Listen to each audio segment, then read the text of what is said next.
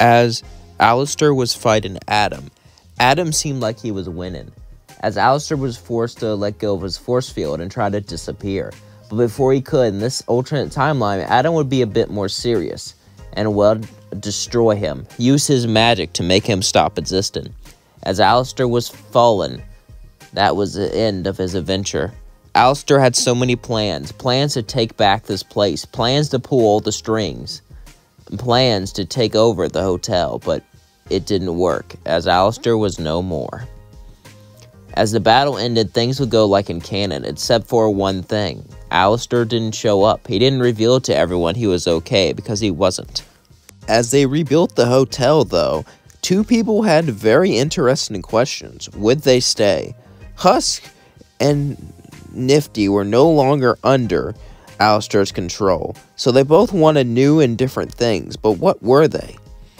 Nifty wanted to, well, leave.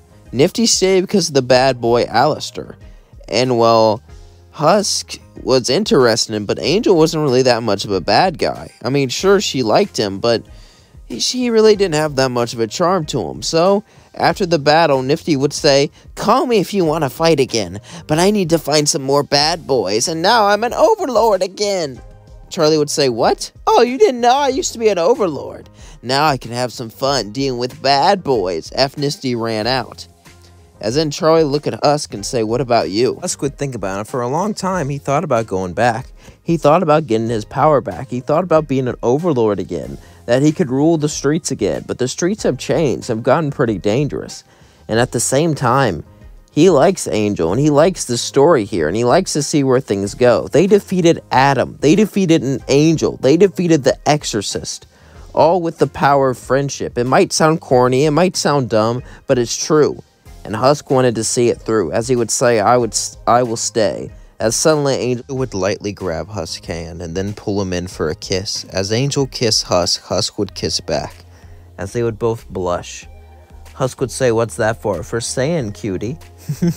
As he walked away, Husk started to purr. Charlie said, Oh my god, are you purring? No, no, I'm not. Yes, you are. It's so cute. It's so cute. It's so cute. As Husk would say, sh sh Shut up. As Husk and Angel would then start a relationship. But as that was going on, we cut to heaven as Lute would walk over to Lilith. As Lilith and Lute would look at each other, Lute would say, You need to take care of your little brat if you want to stay here. Lilith would then sigh and say, I can't. I had a man on the inside, a man that would take Charlie away from her father, a man that would sow division, the radio demon. I told you about him, and yet Adam got rid of him anyway. She would say, got rid of Alastor. Alastor was my only way to win. Alastor was my only way to sow dissent. Since Lucifer doesn't like me, and if I came back, I could try to sow dissent, but I didn't build an emotional connection. Alastor did, and you got rid of him. Lute would say, Alastor attacked us, he had no choice, and he tried to pull away. He wasn't trying to get rid of you. However, you misinterpreted it and got rid of your only chance to win. He was your only chance to destroy the hotel. Now that he's gone and you've lost, the hotel is only successful, and you have nothing but yourself to blame. Lute would say, Shut up, shut up, shut up, you're going back down. Lilith would sigh and say, Fine, I got bored here anyway. As in, Lilith would go back down to hell. She would then stay away from her family, not wanting to reveal herself, at least not yet. As Lilith was back. Something else was going on as we cut to Husk. Husk has been in this state of not knowing what to do with his life, and usually that would make someone sad, but he was very happy. For the first time ever, he felt uncertain. For the first time ever, he felt like he didn't have orders, and it made him filled with so much joy. But the question still irritated him. What was he supposed to do now? As the days kept passing, eventually Angel would ask him an interesting question. Angel would sit at the bar, he would look at him and say, Hey, handsome, what do you want? Well, since you're free now, you don't really have to work all the time. Maybe we should go out and have a nice time, just you and me. On maybe like a date? Husk would say, You're asking me out. Yeah, why not? I mean, you said you like the guy I am now, right? Husk would sigh and say, I do. It's just, I don't know. I haven't been out with someone in a very long time. What would I even do? That's what we find out, Sidley, and if it doesn't work out, we can still be friends. Husk would think about it as he would say, Alright, let's go, as Angel and Husk would go out on a date. As that was going on, we cut to Nifty. Nifty wanted a new bad boy to serve, a new bad boy to work for. Nifty loved being an overlord, and she was now. She was getting territory, getting resources, but she wanted to work for someone too, make me make a business deal. As Nifty was walking around, she would see Zestial. Zestial was a bit sad. He was friends with Alastor, and with him gone, well, things were definitely changed. Alastor didn't hold much territory anymore, but he represented the old overlords. He represented a big faction in hell, and without him, that faction is hurting. As Nifty would walk up and say, Hi, bad boy, Zestial would say, You're not scared of me. Wait, you're Nifty, the overlord that was subdued by Alastor. You're free now. So, what are you doing here? To be excited about something. Do you have a way to bring Alastor back? I know you were obsessed with him. Nifty would say, Nope, he's gone forever. I want to make a deal with you. I hear you're even worse than Alastor. Such a bad boy. I want to work for you.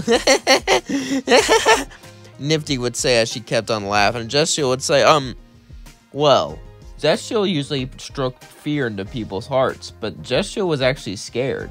He wasn't scared she could hurt him, but she was he was scared that she looked up to him. He never had that responsibility before as he would say, I'm sure we can work together, as Zestial and Nifty then started their partnership. As Nifty was excited to work for Zestial, she had many benefits she could give Zestial, and Zestial was excited to work for Nifty, even though he was creeped out a bit, but someone who wasn't actually scared of him, but actually liked being terrorized by him. It kind of, you know, kind of chased things up, made him a bit uncomfortable, but he would work past it, and together they would have a great partnership. As then we cut to Charlie. As Charlie was laying down, crying, she was sad that Alastor was gone. She was able to compose herself for a while, hold back the tears, but he was like a father figure to her. True, Lucifer was in her life way more now, but she still missed Alastor. Alastor played a big role in this hotel.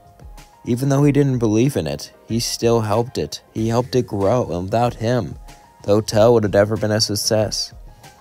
As Angel looked down sad, Vaggie would sit down next to her and put her arm around Charlie. It's okay. Hun, I know I didn't really like him, but he had a charm, didn't he? Charlie would say, Yeah, he did. And he helped us. Vaggie would say, I know you're sad, but I think you should talk to someone. Charlie would say, What do you mean? I'm with you. I mean, it's great to talk with me, love, but he was a great father figure. But you have a real father, a father who's been there for you now.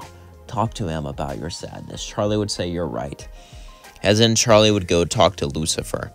As she would open up, he was sad that, well, she looked up to Alastor, but honestly, he was happy that she could trust him, and he was sad that Alastor was gone. Even though they had their differences, Lucifer wasn't heartless. Lucifer would share in this sentiment, as in he would help Charlie and guide her. As in we cut back to Angel and Husk, who just got back from their date. As Husk and Angel would both look at each other, as they looked at each other with kindness in their eyes, with love in their eyes. As Angel would say how to go, Husk would say it went amazingly as they kissed. And then Angel would lean down and say, You know, normally I'd bring you to bed, but this time, I don't think I will. I'm gonna wait for something special. As Angel walked into his room, as he wanted to wait to have fun with them, as he wanted to wait for it to be special for the both of them. As Husk was getting better, Angel found true love. Nifty working under someone else. Everything seemed normal again. As when Alastor passed, everything was so chaotic, but now things can go back to normal. Except for one person, Lilith. Lilith was in hell, waiting to get her revenge, waiting to take back what was rightfully hers. But she couldn't do anything but wait. Her inn, her ticket, the person she was using to sow dissent was gone, and without that, she had nothing to do but wait to find a new opportunity. And that's going to leave things off. Don't forget to like, comment, and subscribe. And let you know these are this video down comments below. I really enjoyed making it. I hope you enjoy watching it. I, uh, well, this is something I want to do for a very long time. But I've been kind of procrastinating it because I wanted a good thumbnail. Because thumbnails, you know, are very important for the video, and I couldn't really find an important one for this subject. So I tried my best. I hope you liked it. Anyway, also, another reason I didn't really make it until now is because, well, the season ended with Alastor barely making it out alive, which means we don't really know the impact that would have if he didn't because season 2 hasn't really dropped yet. Now, in my opinion, I think Alastor at the beginning is good for the hotel because he brought Husk, brought Nifty, and without him, the hotel probably wouldn't have been able to succeed. But now he's going to be a detriment. Now he's going to, you know, try to sow dissent because, like he said, he'll be the one pulling all the strings. Of course, maybe he'll use Charlie to beat Lilith, use Charlie to defeat his mother, after all, he said you don't have to hurt anyone, so he probably has a very big idea in mind. I'm sure that Alastor wants, you know, Lilith to be defeated. He can use Charlie. Maybe ask Charlie to talk her into something because Lilith still cares about her, you know? I'm sure that will come in handy because, well, I do think Lilith owns his soul. Some people says that too that's too obvious, but think about it. Why would he ask Charlie? Charlie, I mean, of all people. I mean, sure, she was desperate, but the favor he asked was so vague. He couldn't hurt anyone, she couldn't do anything bad. Why would he even take that deal? Unless it was to talk someone out of something, unless it was to talk someone that was close to Charlie, Charlie's mom. Anyway, I think that really supports the theory. Of course, they could just be building up to being Lilith just to turn around and say, nope, not Lilith. We fooled you. We fooled you. We got you. We got you. I don't know. Do you think it's Lilith? And if it's not Lilith, who else could it be? Let me know in the comments below. I really love you all. Thank you so much for watching me. Thank you so much for supporting me. Thank you so much for being there for my content, for my, you know, videos. It means the world to me and let me know what your ideas are. I love all your ideas, even though some people are like, come on, man, I've been posting this for 30 days. There's like hundreds of comments under my videos, and I get like messages about each one. I'm not going to be able to read all of them, so I may not be able to see yours, all right? So I don't think I'm trying to ignore you. Also, there's some videos that I just, I just can't do. I, there's some video ideas I just can't do because I haven't seen the character or I don't really do that universe anymore. There's like many, many reasons. So yeah, if you want to know what things I won't really do, let me know in the comments below. Love you all so, so much. Thank you for going on. Thank you for doing things. I hope you had an amazing Labor Day. Peace out.